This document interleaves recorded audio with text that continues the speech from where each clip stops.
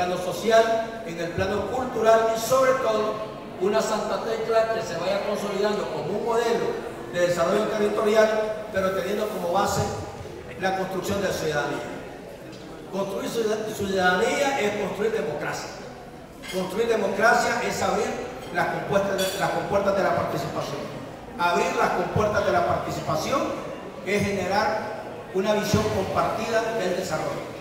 Es decir, lo público es importante, pero todo aquello que hacemos en lo público, si no es asumido por los ciudadanos, es demasiado complicado.